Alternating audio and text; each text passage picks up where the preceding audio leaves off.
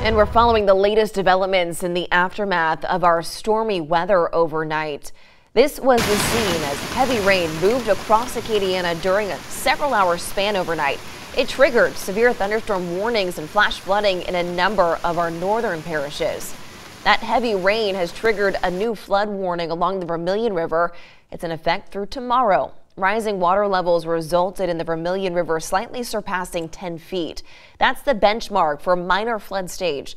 The National Weather Service forecasts river levels to drop back below flood stage this evening.